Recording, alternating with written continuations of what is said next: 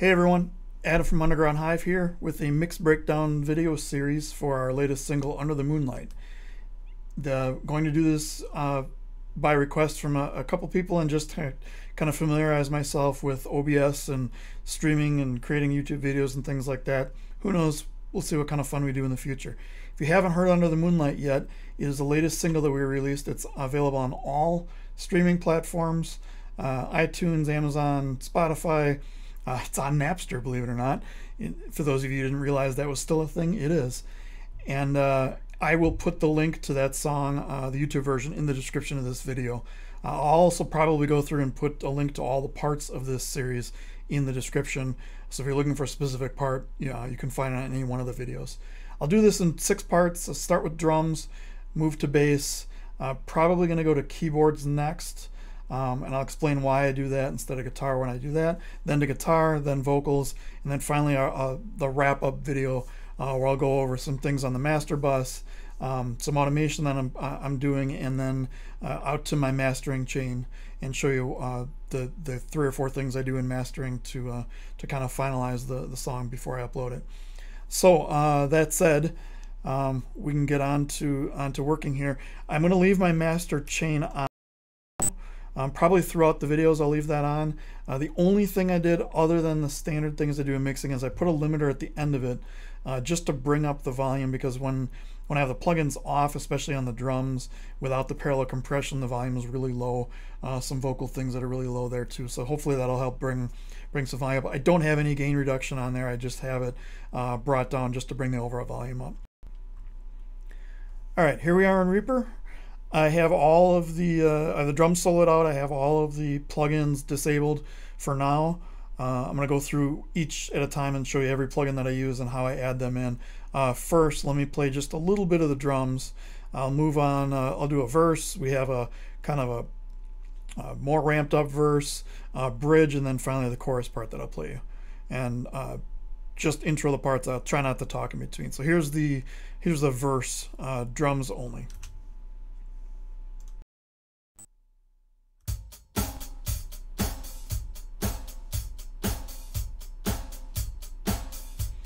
Here's the kind of ramped up verse with more uh, open hi-hat going on.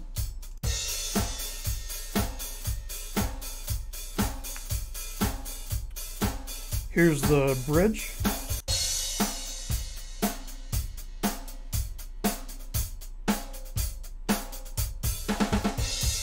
And here's the chorus. Here he's doing a, Spike is doing a really cool uh, ride cymbal back and forth hi-hat thing. It's uh, probably a big workout for him. And I'll let one of the tom fills come in.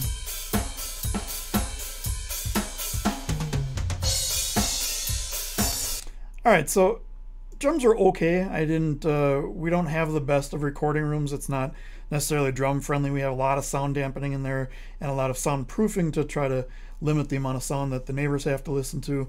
Um, but we, you know, we're, uh, we get we get decent sounds out of it. We had a lot of problems with the snare. I'll get to that in a little bit.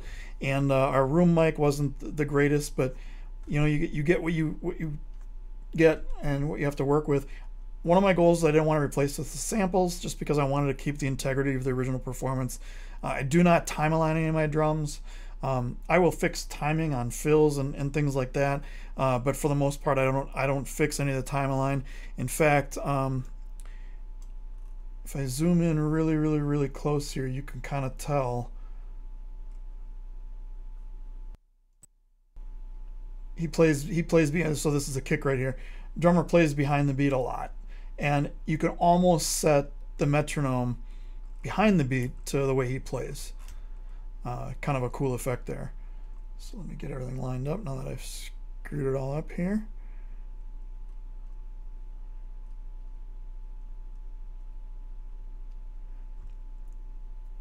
All right. So here we go with um, starting out with the drum bus. What I usually do is I put uh, put EQ and compression on the drum bus. I'm using Waves R channel here because that was the plugin of the week apparently at the time. Um, play this with and without. I'm doing just two EQ bumps, um, 2 dB at uh, 260k, and then the uh, three and a half dB or so at at 5K. Um, the 260 was kind of bring out this crack on the snare a little bit, or the, you know, the body uh, and tack of the snare. 4K was kind of the sheen of hi hats, overhead cymbals, things like that. So before, and then with it on. It's going to be very subtle. You want probably want to listen with headphones or or good studio monitors here to get the differences of what I'm doing. Um, and then I use the Kramer tape. I would I, I would throw this thing on everything. Uh, in fact, I do, as you'll, you'll see a recurring theme here in these videos. And uh, this is just going to add some tape saturation, just kind of kind of glue things together. One thing on the on the channel strip, I also add some compression. Uh, just real light, you know, it's not doing much. Two and a half dB gain reduction tops, and then output gain to, to basically match the, the volume up. So it's maybe a tad louder, not not enough to, to worry about. So the Kramer tape, this thing I love. Um, I don't hit it real hard. A lot of the times I'll hit it so that you know I'm hitting about zero on the VU meter, but here I'm just just a little bit, just to to more like, like glue is a is a good word, but I, it's hard to describe what it means. But just to kind of focus and bring everything in together. And then I do a, a I have a room reverb, which I call a reverb short, that I send it to, and I do send the whole kit to it, along with individual uh, instruments that you'll see as I come in. So that's the whole kit. Snare doesn't sound great. Overheads don't sound great. There's some possible phasing issues there. Uh, we'll get to all that. So start with the kick drum and solo this out. Source isn't bad. A little low in volume, but I've done that on purpose because I, I, bring bring a lot of the volume up with parallel compression as I go on. Uh, the first plugin that I put right on the kick is this uh, Pultec, or Puigtec as Waves calls it, um, style EQ. I do the boost and the attenuation at the same, so it does kind of a one of these kind of kind of weird EQ curves. And then I, I leave it at 60 hertz. 60 hertz is kind of the sweet spot. Um, if you haven't heard the song again, go back and listen to it before you go any further in this. We're an original funk rock band. Uh, this song has a, a, heavy disco feel. You can hear the four on the floor through the whole thing. And uh, we, we just kind of build on that as a band. Um, next up is the SSL channel. I do a, a very, very low high pass filter and a, a low pass. Low pass is pretty high. It's what 10k right now. I could probably put it down quite a bit. Um, but then I do some some pretty big boosts here. I do like 9 dB at, uh, and these I, I, apologize for the way these numbers come out.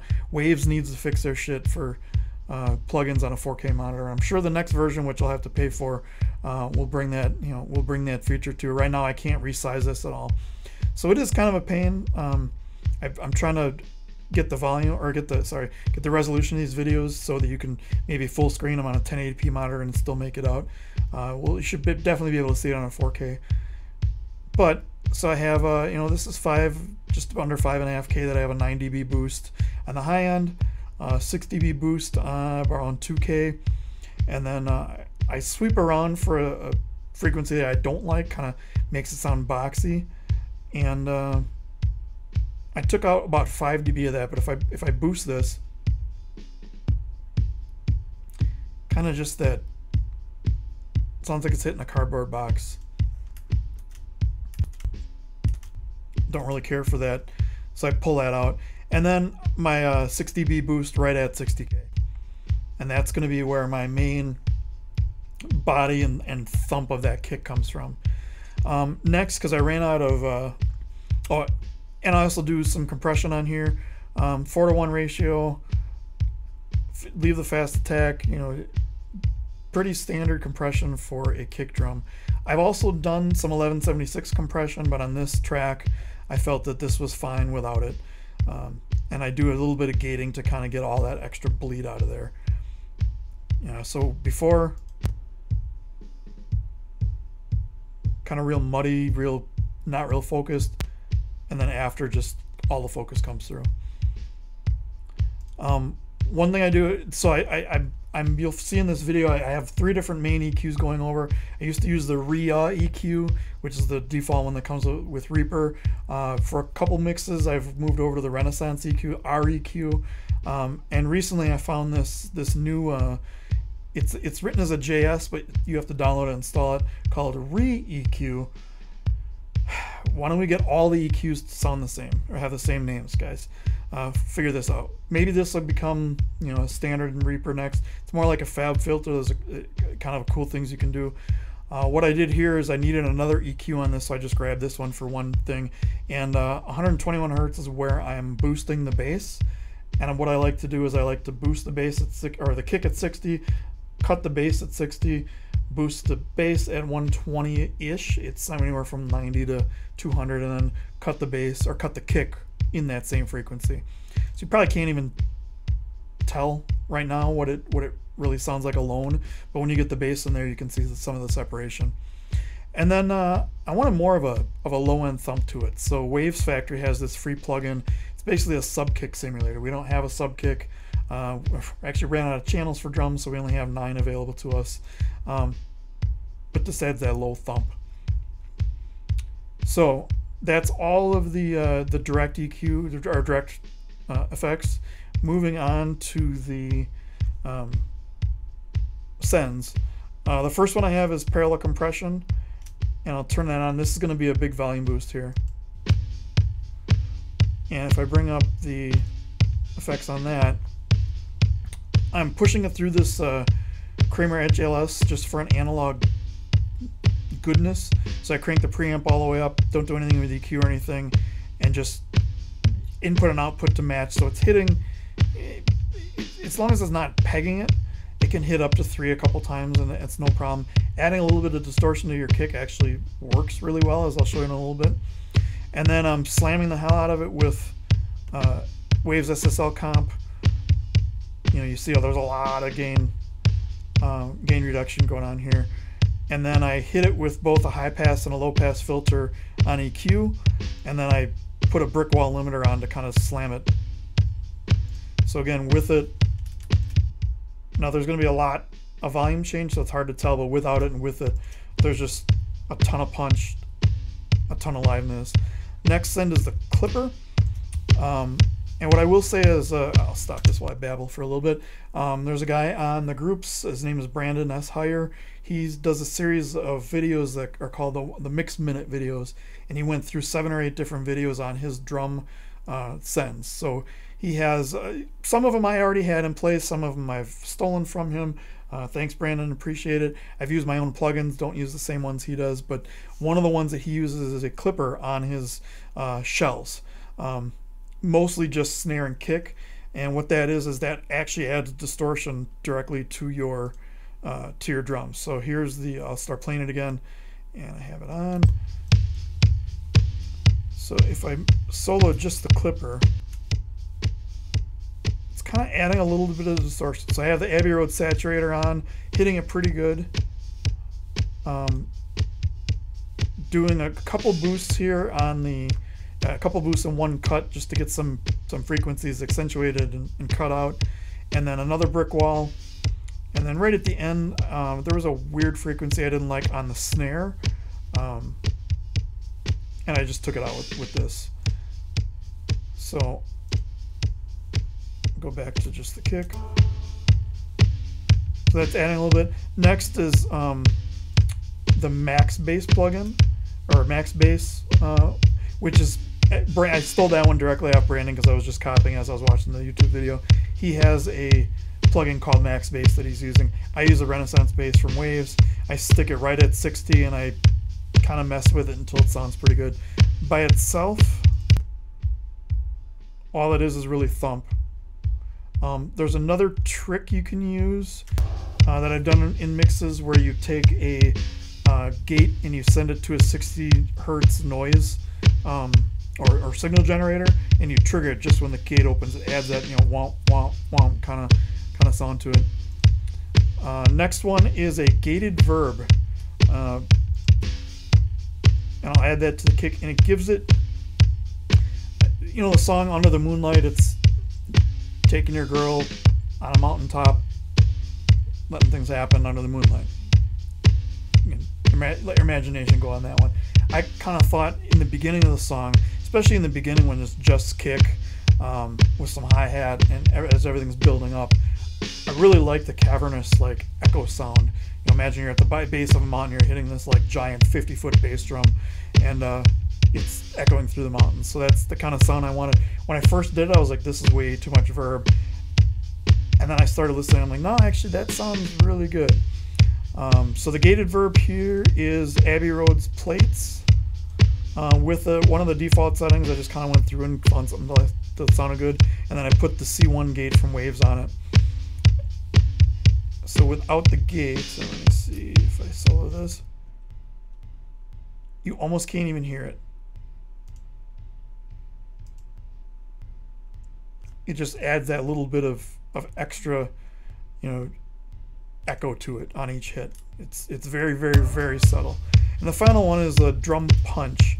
Uh, what I did for this is I took the um, JS transient controller, put it up to 100% so I can get all the transients popped up there. And then I do two boosts, one for the kick at about 80 hertz, one for the snare at about 1k. Uh, and I'll, alone, very subtle. It's just like pop, pop, pop, and that's just a lot of these things, you know, mixing is a thousand different small moves to make one big mix if, if you look at it that way. And based on the number of plugins I have, yeah. So, moving on here, uh, to the snare. So the kick done as far as I'm concerned. I really like the thump of it, really like the feel, I like the body, I like how it interacts with the bass, and I'll show you that in the bass video. So we'll go to the snare. So right away you can hear it almost sounds like a timbale. There's almost no snare, like actual snare drum sound. Uh, you know, the, the snares. We had a bottom snare track. It was so bad, it was actually better to not use it. Um, what I, will show you how I fix that in a second. But first, I want to show you what I did for processing on this. Um, I used the AS uh, AIX DSP multi-band gate, and that almost eliminates the hi-hat. So without it,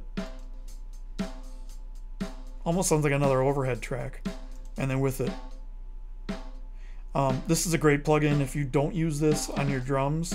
Um, urge you to take a look at it. It's it's cheap. It's 50 or 60 bucks or whatever it is. Uh, really love the way it sounds. All right, so once I have that in, I go to my EQ, and this is where I started using the JS EQ.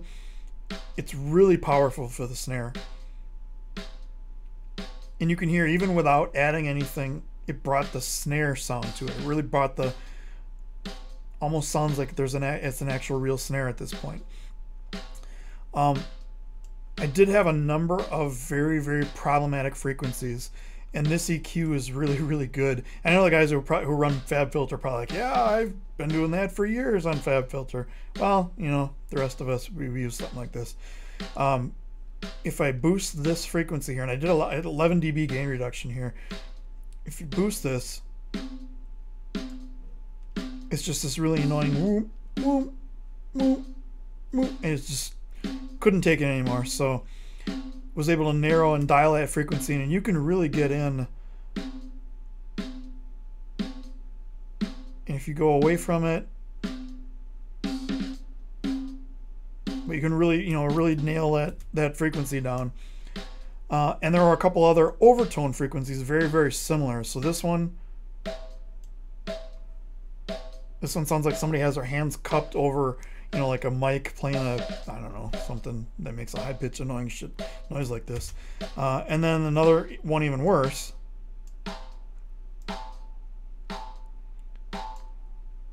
So love this EQ, love what I've been able to do with it. Um, other than that, I just have a high pass at 185 hertz. I'll take this anywhere from 100 to 200, depending on the snare and depending on the sound that I want. Um, quick tri- quick tip: you can get a really really high pitched snare out of a low pitched snare just with high pass filter. Imagine that. And then I do a bump at uh, 4K and then a high shelf at 8K. So without the EQ, and then with the EQ much much nicer snare drum, especially for this song. I want that that 70s disco. Uh, there's a number of bands that, that these days have a higher pitched snare. Uh, Greyboy Allstars is one. Lettuce is another. That just almost almost a piccolo sound. But with a piccolo snare, you really really can tell because it's that it's that definite, you know, almost too much by the end of the song. You just don't want to hear it anymore. With this, we are able to get, you know, a much woodier sounding snare, get, having that sound in. On a compression, uh, 1176 on snare, it's almost always my go-to. And I'm not hitting it too high. I'm hitting about 3 dB gain reduction here. Maybe some of the higher hits will go up to 5 or 6, but if you really crank it, you get too much and you really tell it's too much and it's almost like flattening out and, and taking away the attack so then I have uh, Kramer tape which favorite I don't want to hit this one too hard because again that can kind of almost bad distortion on the snare so I just do it in a little you know before and after I'll do before and after both the compression and this and then after get more of the sustain, more of the you know good feel to it. And then here I'm doing a uh, ReaGate um, with that I trigger. And I'll show you this in the next track. I trigger uh, Drummer for for some added coolness. So the last thing I want to show you is this snare buzz plugin from Waves Factory. You can take a regular sounding snare and if it didn't have a bottom mic, this almost basically, even though it shows a, a, a top mic here, listen to what I do when I change it or turn it on. So that's definitely that snare off and then on. So this has saved me. There's, there's a number of different snare sounds, number of different rooms. You can change the mic distance back and forth. You can change the amount of snare that goes into the, into the mix and things like that. Um, really, really love this plugin. Uh, that said, we're going to try to not use it for the next song because we our next couple um, next group of songs. Uh, we still have two more that are coming for our album that, that's due out this year, but want to just kind of kind of get rid of uh, kind of get rid of using that and use more natural sounding uh, instead of more of an artificial sounding plugin. All right, now let's get on to the sends. There's a lot of them for this, so uh, apologize if this is going long. Uh, this is just I want to get through all this stuff and go through all the details. Uh, first thing we do is the parallel compression and this brings up the volume a little bit. And if I if I solo the P drums now, um, that's get that real pumping style compression, and then I, I blend it in. I have it pretty loud. I, I, I like this on this song particular, what it's doing to the snare sound. Um, what I have next is an exciter, and what this is is the um, vintage exciter with kind of just a standard setting that I kind of played around a little bit, and then some EQ to kind of high pass and low pass. What you can do with an exciter is you can add harmonic frequencies without actually adding EQ. When you add EQ, you add phase, the possibility of phase issues. I haven't had enough phase issues with this snare as it is. Uh, adding this adds almost like high end without adding EQ. Um, I'll play this just by itself. So again, it's not not a huge big thing, but if you turn it off and on, here it's off, and then here it's on. So it just kind of adds, you know, a little bit of, of top end body. Uh, next is a clipper, and this one really adds some good stuff to it. Um, go back to the clipper.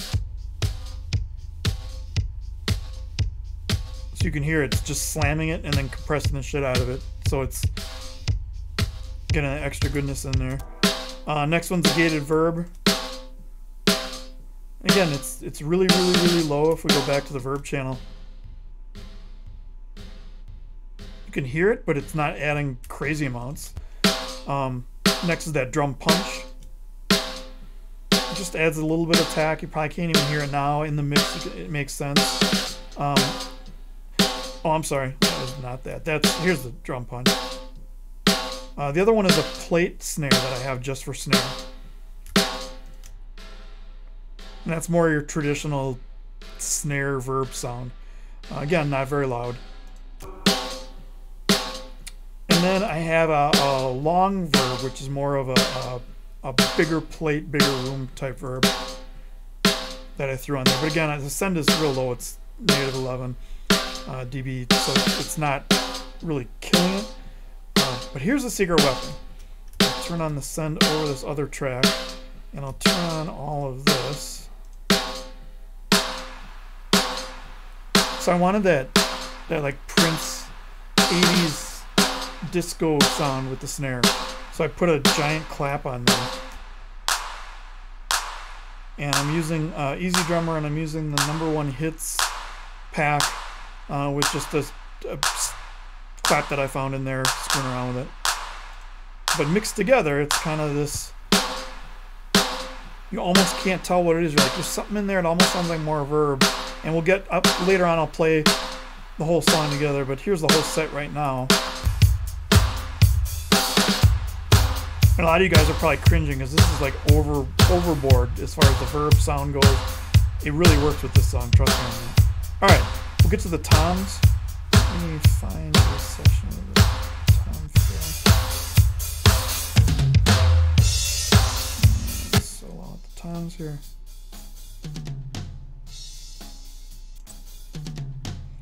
So I'll go through one. I'll go through one what I'm doing on one tom, and I do the same thing on all the toms except for the EQ slightly different. So the first thing I do is I have this. Oh, let me go back in here. I have the multi-band gate on, um, and you can see. You know, you can see that come through. You can and I won't do it because it's just annoying as hell. You can highlight just a single tom hit, have it just hit over and over, and you can see the you know the, the peaks come through, and you can choose exactly where the the threshold is. Um, then I'm doing some EQ. I do a, a high pass filter on everything.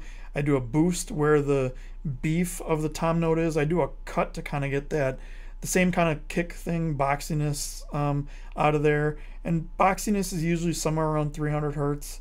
Uh, and then I do one boost for attack, and then I clip it off with a with a low pass filter. Uh, I do that for for every one of my toms. These will look very similar. They'll just have different uh, EQ ranges. And then I'll put. Uh, I'm actually using ReaComp here uh, because I, I just it, it, it's a tom. It doesn't really need a whole lot. Um, so we'll do all of here, I'll just show you the EQ curve. So here's the EQ curve for the mid tom. It's just a little bit different. Each of the, each of the settings are, are a little bit different. And then for the floor tom, they're even more different. You know, the, the beefier, bassier um, is lower, you know, and things like that. So turn all of the plugins on. For sends, I'm doing the uh, parallel compression again. I'm using the drums exciter because uh, I kind of like that extra um, clarity it gives. Uh, I'm using the gated verb because it's a tom and it's a disco song, and I'm using the the room the regular like room reverb that I already have on the kit. So we'll do like a, uh, um, I can't do before and after for all the sends, but I can do before and after for the for the EQs. Not do that. Uh, so here's before. And then here's after. The biggest thing you're going to notice, there's no bleed anymore. So we get kind of that, kind of that big rumbly, um, almost sounds like you're, you know, you're, if you've been in a live show where they mic up the toms and they do that sound check and they hit the first one, it's like boom. I love that, you know, love that sound in these toms when my drummer does too. So we'll move on from there. The toms aren't if anyone has any questions, by the way, if anyone has any questions about any of this stuff, um, let me know if there's anything you want me to go through in more detail. I know we're running, it's coming up on what, like a half an hour here on this video. Uh, don't want to make this too long, but we're almost done, so bear with me. Next are going to be the overheads. So before, um, and I'll put this on, uh, put this on this verse.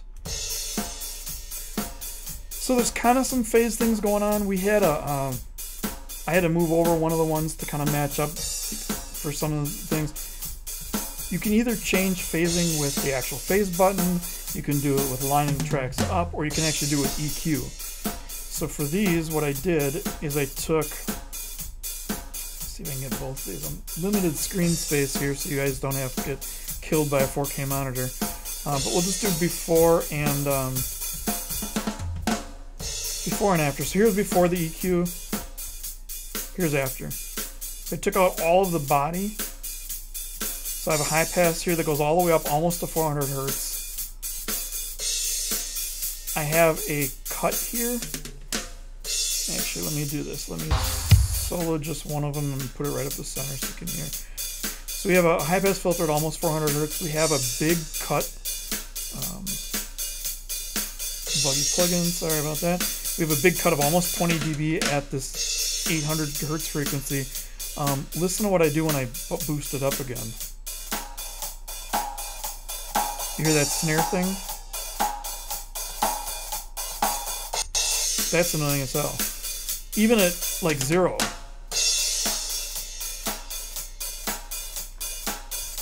You can kind of hear it there. So I cut that completely out, and then I do a, a shelf boost right around 8K. Um, 3 dB is all I really need for these.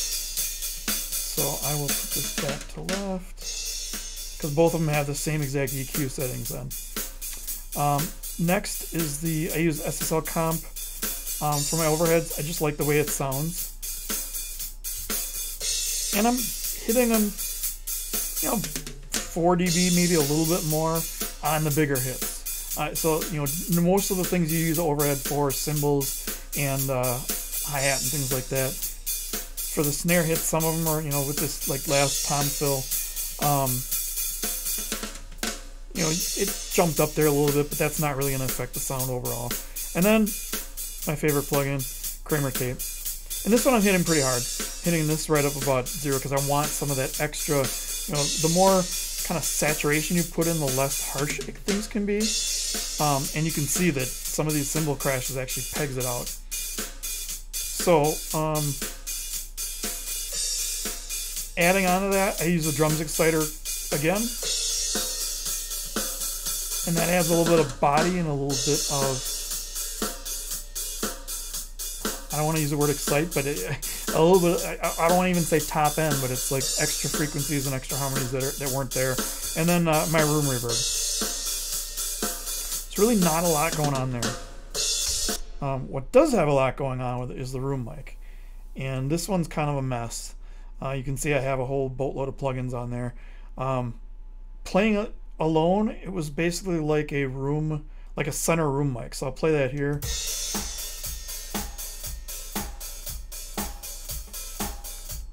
as a room mic, it's picking up way too much hi-hats, picking up way too much cymbals, not enough of the of the heart of the drums, which is what you really want a room mic to do. So I went kind of crazy on this one.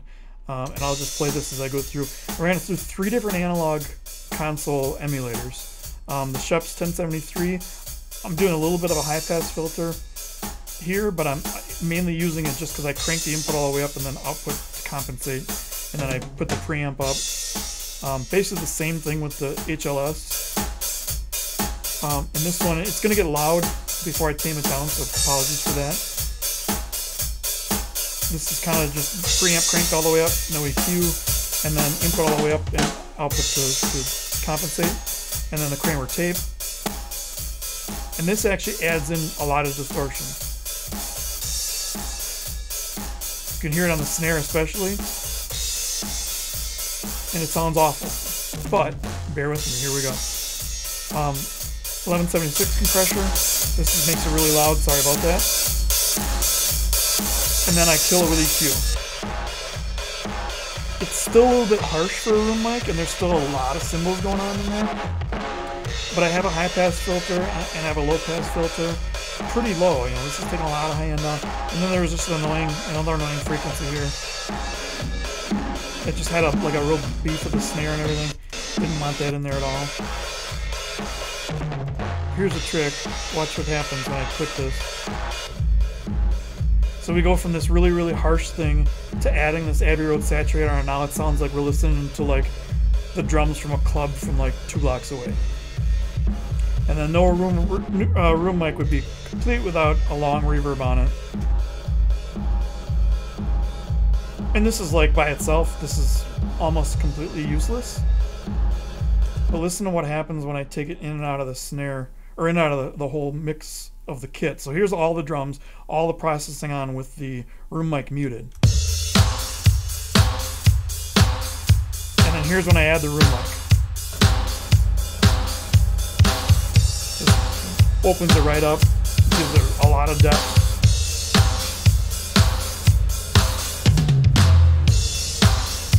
All right, so that's the drum video. Um, hope you enjoyed this. I, I, I'm new to this, if you can't tell, as I babble through every video or every every single thing, and uh, every single concept and every single plugin. But uh, hopefully these will get a little smoother as I go on and uh, get into more detail. If there's any questions, leave them in the comments. If there's anything I'm doing wrong, I mean, it's YouTube. You guys got to, it's your duty as YouTubers to tell people when they're doing things wrong. So please get in the comments. Tell me what I'm doing wrong. Um, if anything here can help you, if I could do anything much faster, much easier, uh, I would appreciate that as a mixer.